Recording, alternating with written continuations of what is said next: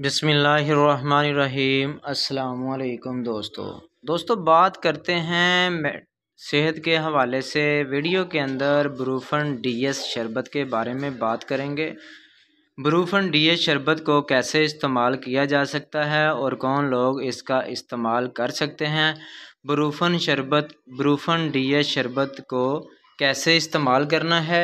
Video शुरू करने से पहले सब दोस्तों से गुजारिश है कि जो हमारे चैनल पर न्यू हैं, हमारे चैनल को सब्सक्राइब करें, लाइक करें, बेल के बटन पर क्लिक करें, ताकि हर नई वीडियो का नोटिफिकेशन आपको मिलता रहे और मेडिसन के हवाले से नई नई मालूम मिलती रहे, ताकि आपको इसका बहुत ज़्यादा फ़ायदा हो। ब्रूफन डी शरबत कैसे इस्तेमाल करते हैं, हम आपको वीडियो के अंदर बताएँगे।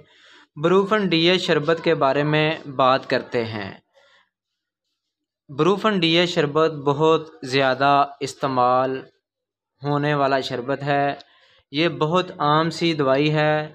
दवाई का जो नाम है ब्रूफन डी एस है, जो इसके अंदर एबो ब्रूफन 200 सौ एम जी, पाँच M L D S syrup है। इसमें ब्रूफन क्रीम भी आती है, ब्रूफन टू हंड्रेड, टैबलेट भी आती है, फोर हंड्रेड, टैबलेट भी आती है और प्लस में भी टैबलेट आती है। और इसको सही और इसको कैसे इस्तेमाल करना है, बच्चे और बड़े इसको बहुत शौक़ से इस्तेमाल करते हैं और ये बहुत ज़्यादा इस्तेमाल होने वाली मेडिसन है। ये दर्द के लिए भी इस्तेमाल होता है, सोजिश के लिए इस्तेमाल होता है जोड़ों के दर्द के लिए इस्तेमाल होता है, जिनको यूरिक एसिड का मसला है, वो यूरिक एसिड के मसले के लिए भी इस्तेमाल करते हैं। जोड़ों के दर्द के लिए इस्तेमाल होता है, दान दर्द हो, पट्ठों में दर्द हो, हड्डियाँ पेन करती हो, ब्रूफन डिया शरबत का इस्तेमाल किया जाता है।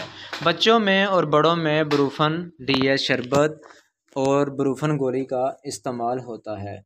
ये बहुत आम सी दवाई है। ये दवाई इस्तेमाल करने के साथ दो घंटे में अपना असर दिखा देती है और इसका बहुत ज़्यादा अच्छा रिज़ल्ट मिलता है।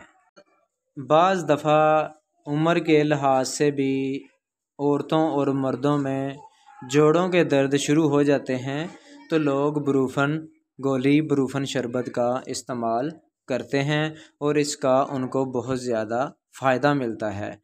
और जो इसकी डोज़ है, वो कैसे इस्तेमाल करना है, वीडियो के अंदर हम आपको बता देते हैं।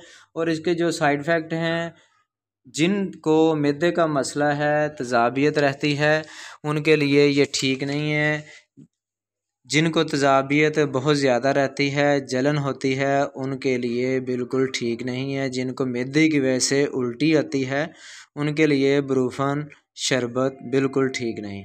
खुदा न खास्ता जिनको जिगर का मसला है या जिनके गुर्दों का मसला है, उनके लिए ये ब्रूफन मेडिसन सेव नहीं है। जब कि आप उसको लेते हैं, एक या दो घंटे बाद ये अपना असर दिखा देती है। ये बच्चों को कैसे देना है जो वज़न के हिसाब से पाँच किलो या सात किलो से कम बच्चे हैं, उनको ये इस्तेमाल, बरूफन या शरबत इस्तेमाल नहीं करवाना चाहिए। जो पाँच साल से बच्चे हैं, उनको एक छोटा चम्मच, जो सात साल के या दस साल से छोटे बच्चे हैं, सात साल से बड़े बच्चे हैं, उनको उनको एक छोटा चम्मच सुबह दोपहर शाम देना चाहिए।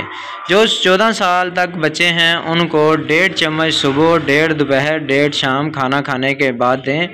जिनको आईब्रूफन मेडिसन देने से एलर्जी होती है या जिगर का मसला है या गुर्दों का मसला है तो उनको ये मेडिसन ना दें। उनके जिसम पर एलर्जी हो सकती है, उनके जिसम पर छाले बन सकते हैं, ज़ख़म बन सकते हैं, उनके मैदे में अल्सर हो सकता है। तो अगर हमारी वीडियो अच्छी लगी हो तो हमारे चैनल को सब्सक्राइब करें। मिलते हैं नेक्स्ट वीडियो में। अल्लाह हाफिज़।